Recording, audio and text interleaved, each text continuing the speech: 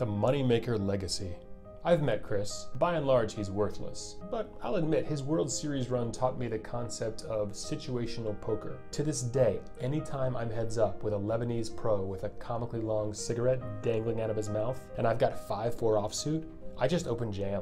I mean, I'm just always ahead there. I've built my entire bankroll on this knowledge alone. So thanks, Chris, for that one thing and literally nothing else.